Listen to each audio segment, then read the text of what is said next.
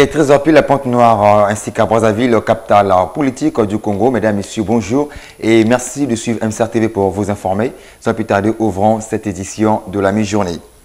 En politique, on rappelle, les, les, élections sénatoriales se sont tenues le 31 août 2017 sur l'ensemble du territoire national. Dans la capitale congolaise, le Parti congolais du travail, PCT et ses alliés ont remporté la totalité des six sièges. Images et commentaires.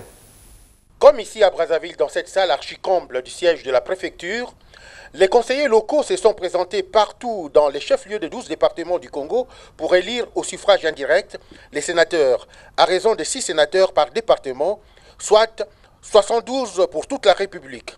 À Brazzaville, parmi les 11 candidats qui étaient en lice, toutes tendances politiques confondues, pour conquérir les 6 sièges à pourvoir, les 6 candidats de la majorité présidentielle ont été tous élus par les 101 grands électeurs présents c'est-à-dire les conseillers locaux de Brazzaville. Des heureux candidats devenus sénateurs aujourd'hui, on peut citer le secrétaire général du PCT, le parti du président Denis Sassou Nguesso. Les candidats, les six que nous avions présentés pour le compte du Front républicain. Il y a là le PCT, il y a là, la majorité présidentielle, il y a l'opposition. Nous étions en front un front de 6. Nous devions nous battre pour que les 6 passent.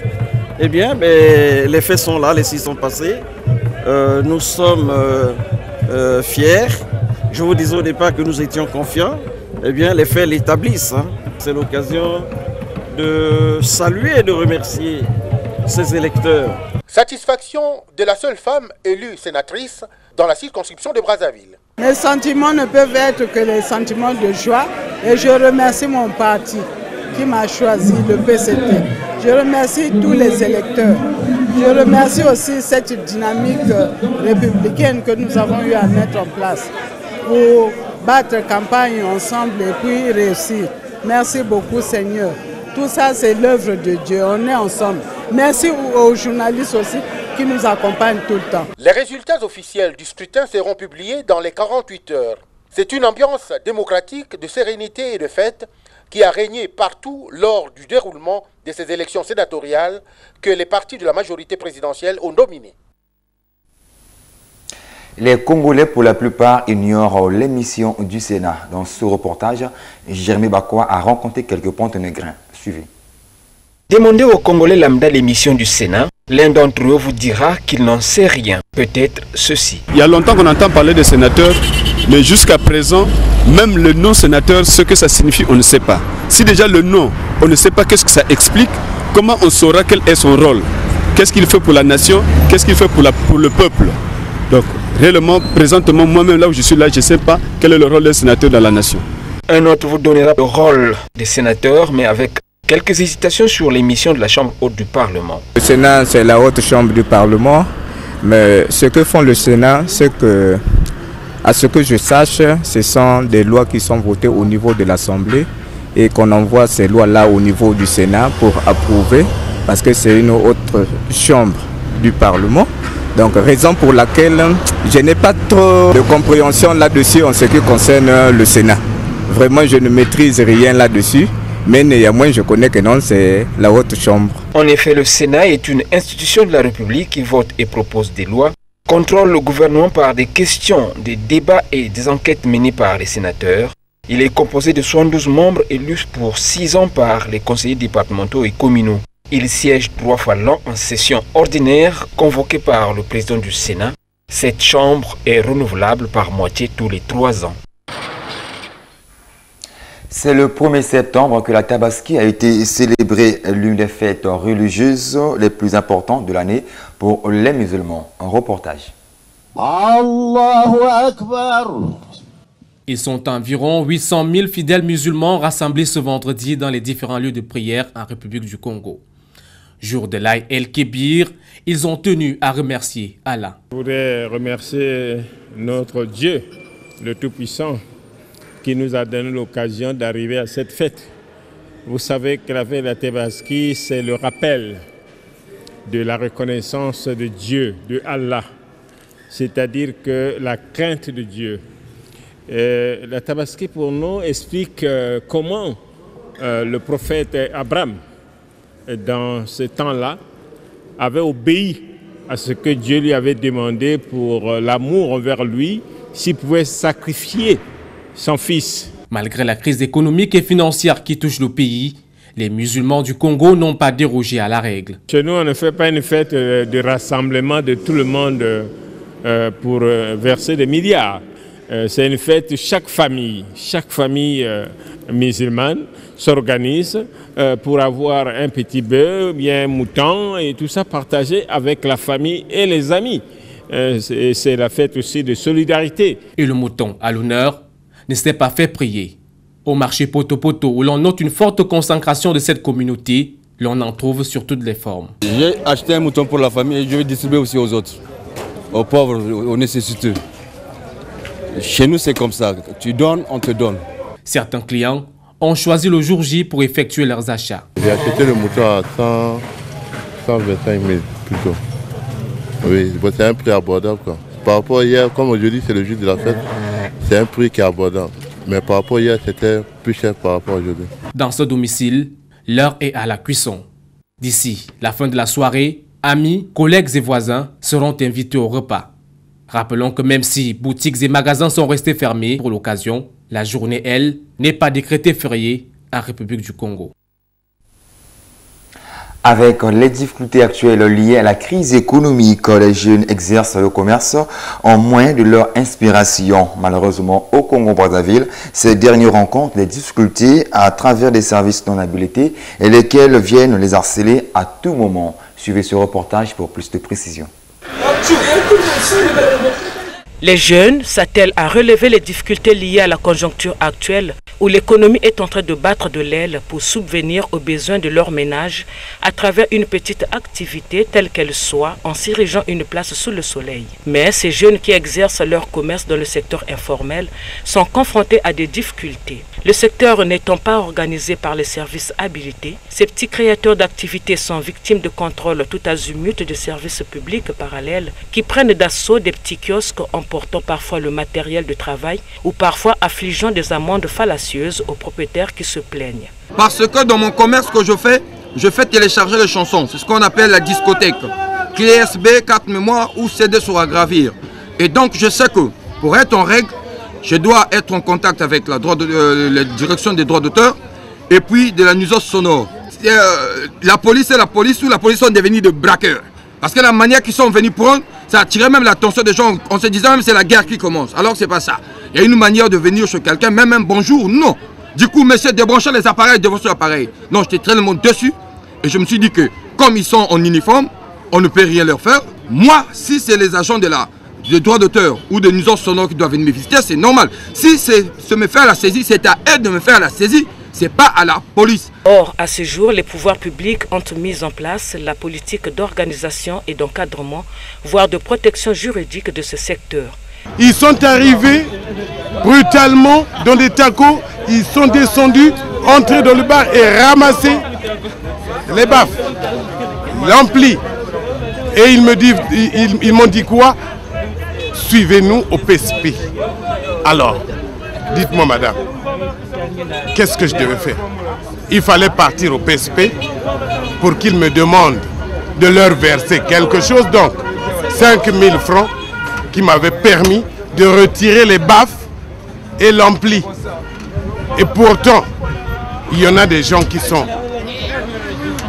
qui ont le droit de contrôler les bars ou bien le droit de contrôler, euh, si ça, devient même la police. Ils vont partir dans des ministères, ils vont partir dans des, sociétés offshore ou onshore, demander euh, des documents ou demander des papiers. C'est le président de la République, je Désolé que je suis euh, dépassé. Malheureusement, celle-ci tarde à être mise en œuvre malgré l'existence de la prise en compte de ce secteur. En attendant, les jeunes qui créent se découragent à cause de cet harcèlement. Merci euh, Lucie François Bouma pour les notes de reportage. Poursuivons ce journal. Promulgué en 1960 au Congo, la non-observation de la loi sur les nuisances sonores pose problème à Pointe-Noire. Reportage. C'est depuis l'année 1960 que la loi sur la nuisance sonore a été promulguée en République du Congo. De cette loi, il ressort qu'il est interdit de klaxonner devant les hôpitaux. Pour le bar, la musique devait être jouée de 18h à 24h. Quant aux discothèques, il suffit qu'il soit dans les normes, c'est-à-dire dans les locaux bien aménagés, sans tapage tel que constaté aujourd'hui dans notre société, nous a confié un responsable du tourisme et de l'environnement hors micro. Nous déplorons un peu, nous déplorons un peu vraiment ces, ces genres euh, de pratiques. Euh, à nos collègues euh, qui ont des nganda, qui ont des bars, un peu des structures, ces, ces genres de structures. Les gens profitent un peu ces derniers temps de, je ne sais pas s'il faut parler, euh, de la faiblesse de la part euh, de, l'État de faire un peu certaines choses à leur manière. Moi, je crois que l'État l'État a, a fixé les règles, telles que par exemple, de telle heure à telle heure, ils sont libres un peu de, de faire leur musique. Également, euh, réduire le volume, mais sauf que nous constatons, ça devient vraiment un ras-le-bol. Les gens font ce qu'ils veulent. Euh, ils, mettent un volume vraiment élevé et ils ne se rendent pas compte que les gens sont autour d'eux et ils ne devaient pas déranger un peu les, vo- les- les- les voisins qui sont tout autour d'eux. C'est ce que nous déplorons vraiment. Nous aimerions que l'État vraiment puisse fixer ces règles-là, puisse vraiment les, suivre, être strict vraiment. Ne pas leur laisser vraiment faire de n'importe quoi. Nous avons également des discothèques qui naissent par-ci par-là, que l'État ne contrôle pas. Je ne sais pas s'ils ont l'aval de- d'exercer ce métier ou bien ces genres d'activités-là. Nous aimerions que l'État vraiment essaie de voir tout ça là aussi. Vraiment que l'État fasse quelque chose, parce que c'est vraiment un ras-le-bol pour la population ponténégrine.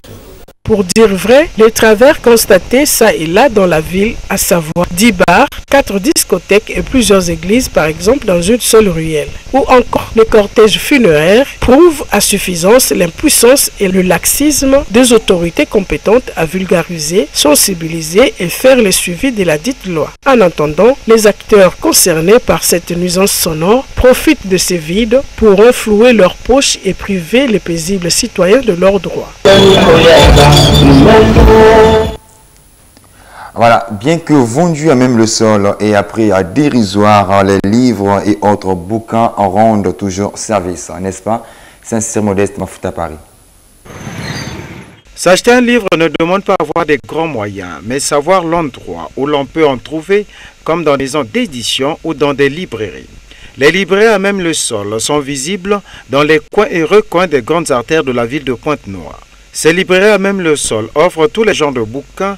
On distingue des romans harlequins, des journaux, des magazines, des livres pédagogiques congolais et des dictionnaires bilingues. À la différence des grandes librairies, les prix sont plus abordables et occasionnels, permettant à la clientèle de discuter le prix d'achat. Nonobstant le vieillissement de certains manuels, Georges Mavoba Sokat, écrivain, donne son appréciation. Euh, les livres qui sont vendus à même le sol, euh, ce, ne sont pas des livres neufs récemment publiés. Ça m'étonnerait. Euh, les livres neufs sont normalement vendus en librairie. Maintenant, les livres, vous verrez, vous ferez attention, les livres qui sont vendus à même le sol sont souvent de très vieux livres et des livres qu'on ne trouve plus ou des livres qui sortent de chez des gens qui avaient ces livres-là et ils n'en ont plus besoin. Ils les mettent euh, euh, sur le sol, dans la rue, à la disposition du public. Mais les livres neufs, ça m'étonnerait qu'ils soient vendus à même le sol dans la rue parce que ces livres neufs, souvent ils sont euh, euh, en librairie jusqu'à ce qu'ils soient très vieux et qu'ils se retrouvent dans la rue un jour. Mais ce n'est pas une très mauvaise affaire parce que ça, amène justement le livre à la portée du public. Parce que ça aussi c'est un autre problème qui se pose chez nous. On a souvent, on nous a, disons, on a souvent reproché aux libraires euh, de vendre les livres très chers et les prix des livres ne sont pas portée du public. C'est pour ça on dit souvent qu'ils n'arrivent pas à lire. Alors dans ce cas, quand les livres descendent dans la rue, je crois que c'est une bonne occasion pour qu'ils puissent l'acheter à 500 francs et euh, les lire. Ainsi, il faut reconnaître que le livre reste au centre de la culture. De l'instruction et de l'éducation de l'homme et la vente au sol n'est qu'une exposition pour une commercialisation rapide et moins coûteuse. Les travaux de construction de l'avenue Antoinette Sassou Nguesso dans le 5e arrondissement Mongopoukou sont achevés à moitié. Le tronçon à hauteur du CQ 512 à la centrale électrique de Vindoulou est un tableau tout autre. Reportage. L'avenue Antoinette Sassou qui part de l'entrée Macabou à la centrale électrique de Vindoulou facilite la circulation des personnes et des biens d'un lieu à un autre, reliant quartier à quartier arrondissement à arrondissement est raccourci. Cette route nouvellement construite est tout de même restée dans un état de délabrement à la hauteur du CQ 512 à la centrale électrique d'André Jacques, comme nous explique un habitant de ce quartier. Pendant la saison 16, ça marche un peu, mais pendant la saison de pluie, c'est la catastrophe. À propos du ravin, ce n'est pas un gros ravin euh, qui demande beaucoup euh, de moyens, c'est juste la, volonté la volonté euh, de nos hommes politiques qui manque pour essayer un peu de combler ce ravin et permettre à ce que euh, les, voitures, les, passagers également passent sans problème. Selon les populations, un candidat aux législatives de 2017 avait engagé quelques travaux, notamment déverser la territe pour permettre aux usagers de la route de bien circuler. Pour la gouvernance de tous, cette avenue Antoinette Sassou est une route qui peut désengorger le trafic de la nationale numéro 1 réputée pour ses embouteillages. Mesdames messieurs, c'est par ce reportage signé Leslie Luzolo, Hippolyte Malanda, Cliff Bomengo que nous mettons un terme à ce journal. Au revoir et bon week-end à tous.